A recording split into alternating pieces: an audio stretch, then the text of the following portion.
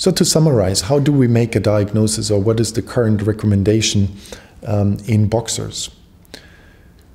So, to make a diagnosis of the ARVC, if I only can pick one test, the best test in boxers would be a Holter examination because this is the best screening method for the ventricular premature contractions. And if you see more than 100 in 24 hours, you have a diagnosis if they are these typical kind of VPCs.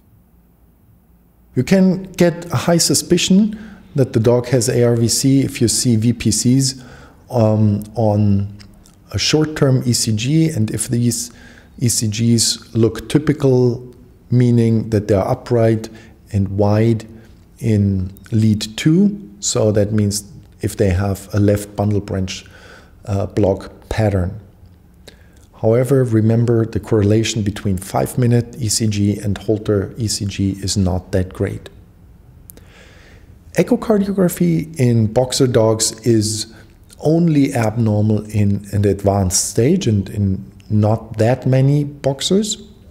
So it would be not my preferred screening test, but uh, it would be recommended um, to do also um, an echocardiography to detect maybe early changes. The genetic test um, here in Europe, um, we do not recommend at this time um, because there are some confusing results from the UK and the genetic tests.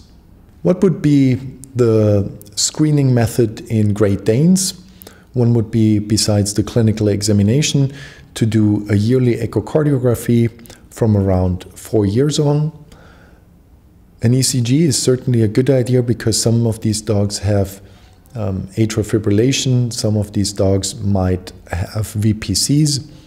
If a Holter examination is a good screening test in Great Danes, needs to be further evaluated, but a recent study showed that VPCs are um, not that uncommon in Great Danes, at least in the clinical stage.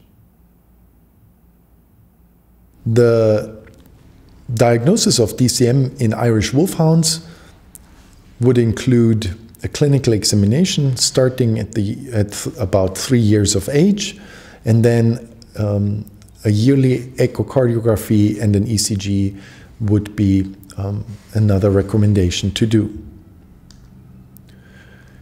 So to diagnose the DCM in Doberman pinschers,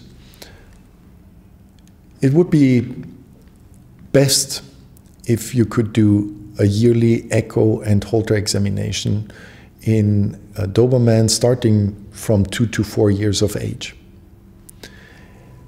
This would be the gold standard.